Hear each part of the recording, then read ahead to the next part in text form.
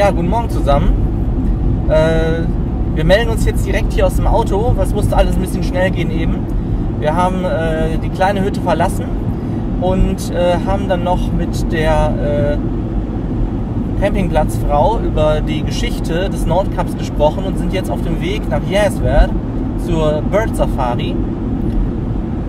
Äh, werden danach zum Nordkap und heute Abend nochmal zum Nordkap Campingplatz zurück, wo wir ähm, eine Hütte, also eine dieser typischen äh, Hütten, die man alternativ immer auf Campingplätzen mieten kann, beziehen.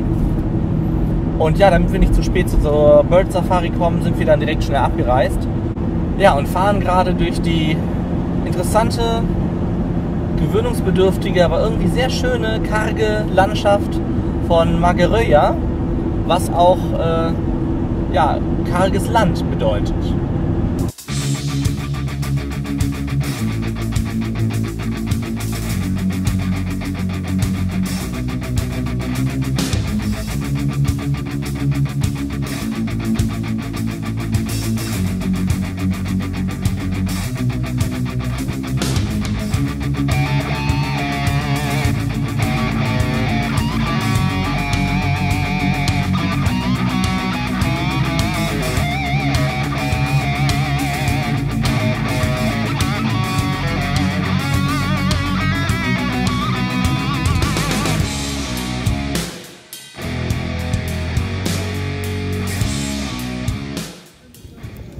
So, wir haben jetzt unsere Birding-Pässe und wir, wir birden jetzt an Bord.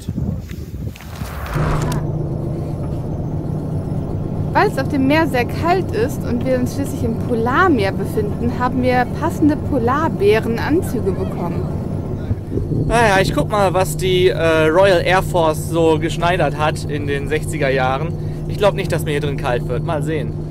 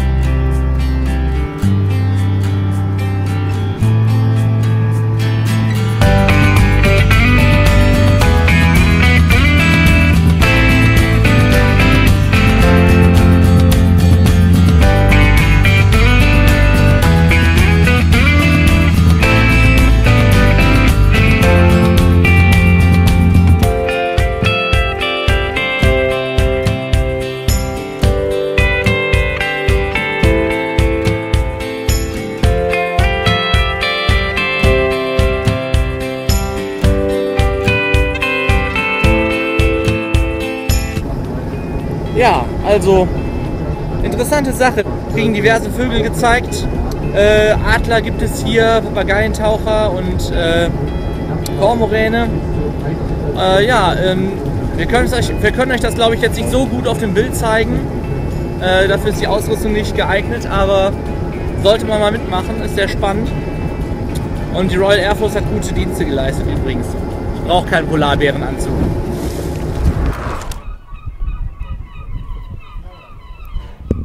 Neben dem Tourismus ist die Fischerei die Haupteinnahmequelle der Region. Hinter uns sehen wir Stockfisch, ähm, der seit Mai hier hängt und in der rauen Seeluft getrocknet wird. Wir wurden informiert, dass man ihn verzehren kann, wenn man ihn mit einem Hammer zertrümmert und als Stockfisch in kleinen Stückchen genießt.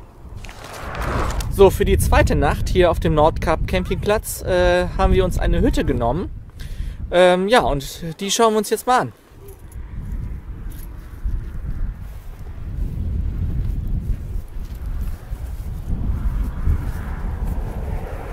So, Nummer zwei.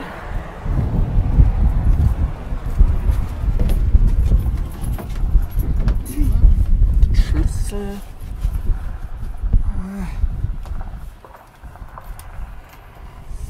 So.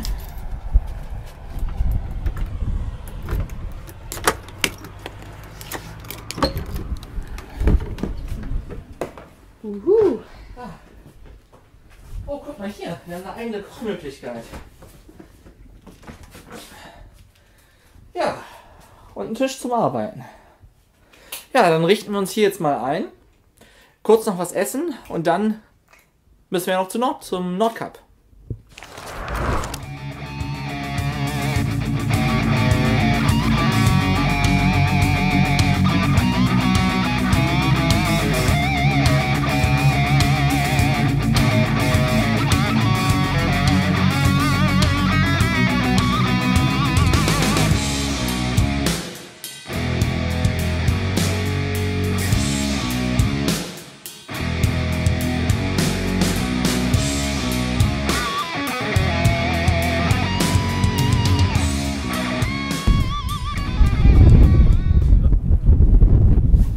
So Leute, wir sind jetzt da am Nordkap. 71 Grad, 10 Minuten und 21 Sekunden nördlicher Breite. Ähm, ja, von hier aus geht es nicht mehr weiter nach Norden, zumindest nicht mit dem Auto oder zu Fuß oder sowas. Äh, ja, ab jetzt geht es nur noch wieder südwärts bzw. südwestwärts für uns. Wir gehen jetzt erstmal wieder in die Nordkaphalle ins Warme, ist ein bisschen frisch.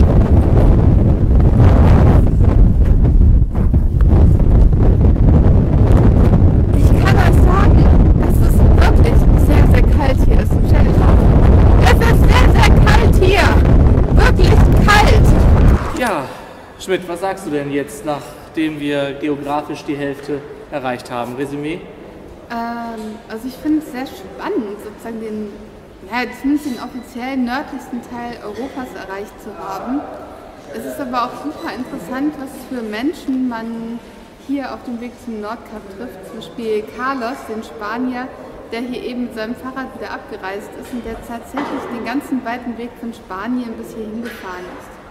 Eben haben wir auch zwei Deutsche überholt, die, die wohl aus der Umgebung von Köln kommen und die auch ähm, von dort aus mit dem Fahrrad losgefahren sind.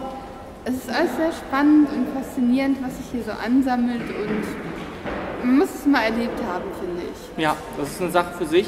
Für uns geht es jetzt quasi ab jetzt noch südwärts bzw. Südwesten. Wir fahren ja nicht denselben Weg zurück, sondern über Norwegen, norwegische Westküste.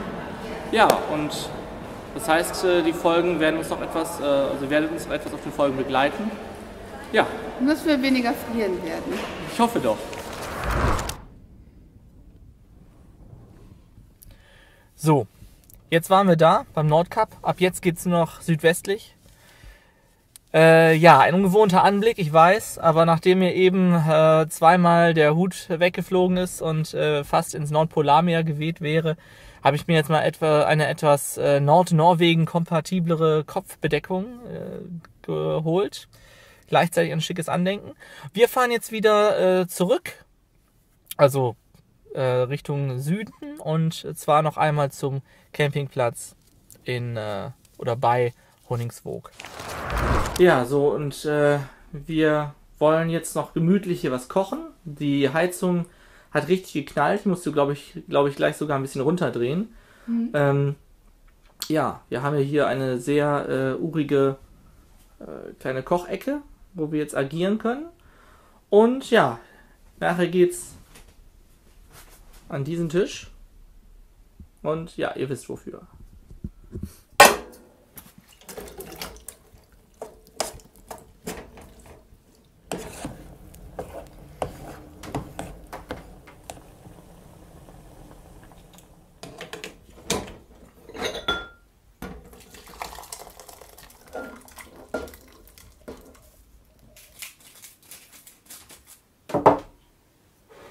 Der Schöttsuppe ist kein Schött drin. Na, na, ja, da ist schön.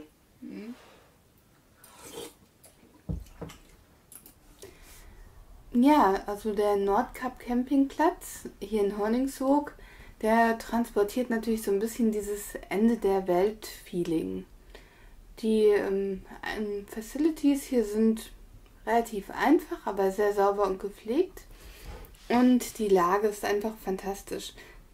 Das ist so ein bisschen felsig, bergig, als wäre man in den ähm, schottischen Highlands. Und das Coole ist, man sieht hier pausenlos irgendwelche Rentiere vorbeirennen. die Samisi da nebenan, die hat leider schon geschlossen. Ja, hier ist nun mal Herbst und wir sind außerhalb der Saison hier, aber da muss man jetzt mit leben. Also es ist atmosphärisch genug hier. Und ähm, ja, also die Stüger ist wirklich sehr komfortabel, sehr gemütlich. Aber das seht ihr sicherlich auch selbst.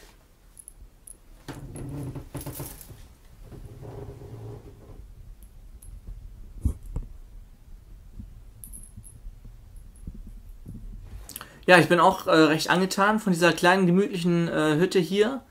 Äh, alles, was man braucht. Insbesondere auch übrigens äh, was, wenn ihr vielleicht aus irgendwelchen Gründen äh, nicht permanent ähm, im Zelt unterwegs sein könnt, aber trotzdem eine Rundreise machen wollt, nicht in Hotels oder irgendwelchen Pensionen äh, bleiben wollt. Also diese Stügas, die es auch immer zusätzlich auf den Campingplätzen gibt. Vielleicht habt ihr ein Kind oder andere Gründe sprechen gegen ein Zelt. Ähm, dann kann man durchaus mal über seine Stüger nachdenken. Sehr gemütlich, klein aber fein und ja, ist eine schöne Sache. Ja, Namen zusammen. Hallo. Oder Namen erneut. So, äh, ja, es ist jetzt wieder soweit. Der Tag ist zu Ende. Wir werden noch ein wenig schreiben und Videos schneiden. Ähm, aber der offizielle Teil sozusagen ist abermals zu Ende und wir kommen wie immer zum inzwischen traditionellen Grüßen und Horn erheben. Heute haben wir uns ausgesucht. Den Tobi und den Captain. Richtig.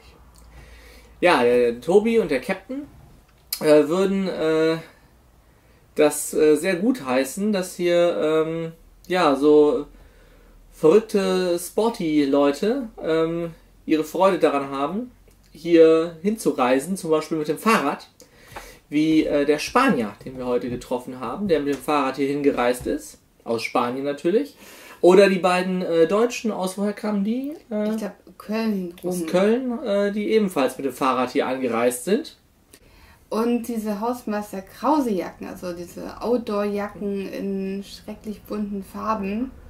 Oder schrecklich eintönigen Farben. Und die dafür windsicher und spritzsicher sind. Die sind hier sehr weit verbreitet und das ja. würde dem Captain gut gefallen. Ja, der Captain würde mit seiner Hausmeister Krause Juppe hier perfekt äh, ins Bild passen. Integration. Ja, richtig. Von, so. von Ostgoten. Mhm. Ja. Ja, dann äh, kleine Ostgotenfrau und äh, lieber Tobi, dann geht's heute auf euch. Äh, wir trinken dann quasi für euch den Met mit, weil ihr als äh, Sporty-Leute könnt das, dürft das ja nicht. Das geht ja nicht. So, dann, ich trinke einfach mehr dann so. Ne? So. Wir haben aber eine Vitamintablette in den Met getan. Auf euch.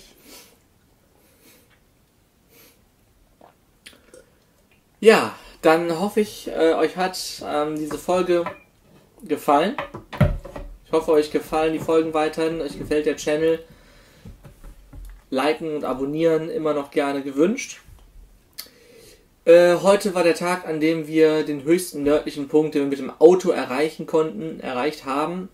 Es geht für uns jetzt wieder Richtung Süden bzw. Südwesten und ja, die norwegische Westküste entlang langsam zurück. Ich hoffe, ihr bleibt bei uns. Bis morgen. Bis morgen.